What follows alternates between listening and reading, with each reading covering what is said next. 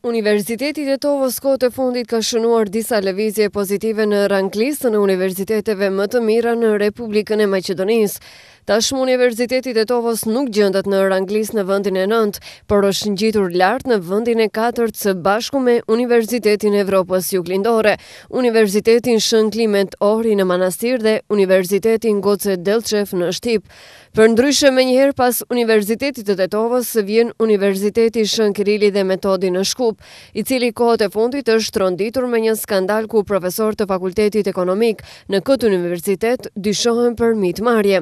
Rangimi bëhet duke i respektuar kriteret themelore të arsimit të lartë, besueshmërinë e publikut dhe faktorët e tjerë që kanë të bëjnë me investimet në infrastrukturën e universiteteve. Siç është shprehur muaj më parë prorektori i Universitetit të Tetovës, Fahri Ramadani, Universiteti i Tetovës mbulon nevojat akademike shkencore me dyzet për qind të kuadrit të rregullt, ndërsa në universitetet e tjera publike në Republikën e Maqedonisë, kuadri mësimdhënës i kalon shifrat e nëntëdhjetë e pesë përqindshit. Nga ana tjetër, kjo pjesë e stafit është plotësuar me profesorë të cilët vijnë nga universitetet e rajonit, edhe nga universitetet më të mira evropiane, për të cilët universiteti ynë ka investuar nga buxheti vetanak. Universiteti i Tetovës tashmë e ka të zgjidhur problemin e objektit, ku ka një objekt modern ku studentët e të gjitha drejtimeve kanë mundësi që t'i aplikojnë dhe absorbojnë njohuritë e ndryshme, Po ashtu ka nisur edhe ndërtimi i konviktit të studentëve të